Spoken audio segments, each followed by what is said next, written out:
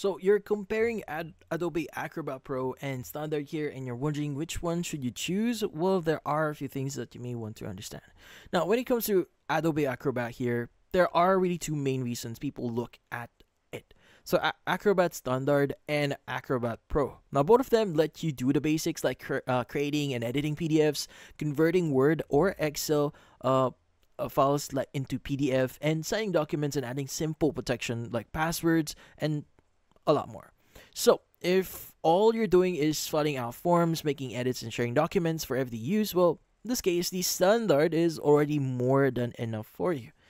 Now, what's the main differences here? So, the difference comes in when you need more advanced tools. Now, that's where Acrobat Pro uh, stands out. For example, with Pro, you can take a scanned document or even a picture and use OCR to turn it into searchable editable text. Now, if you ever had to deal with stacking, uh, uh, uh, deal with stacks of scanned files, that's a game changer. Pro also gives you redact redaction tools, which lets you permanently black out sensitive info, something that's uh, that's really important for legal and financial work.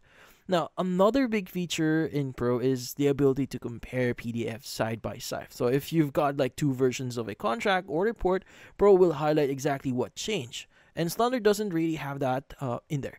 Now, Pro also comes with security, security, uh, stronger security features and better handling of forms, like being able to send documents for signature in bulk or create templates. Now, the catch here is Pro costs more and can feel heavier since it has all those extra menus and tools. Now, it uh, if your work is light and straightforward, you might not even touch half of the features here. So standard feels uh, or is going to be a lot easier to use. It also takes up fewer resources on your computer and still converts everything most people need.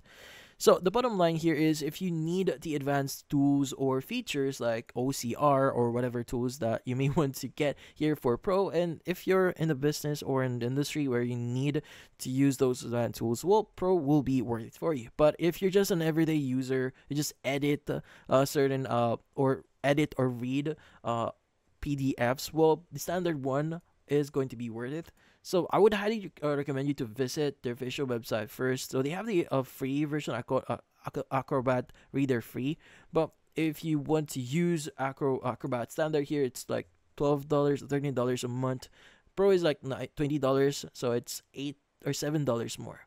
But yeah, so that's about it.